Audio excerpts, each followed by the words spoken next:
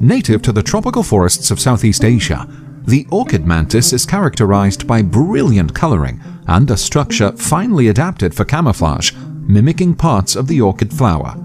Not only does the coloring of this species mimic the flowers they are named after, but their legs are actually formed into the shape of orchid petals as well.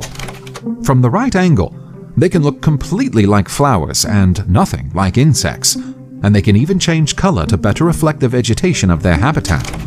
This makes them hard to be spotted in the wild, apart from the fact of them being rare.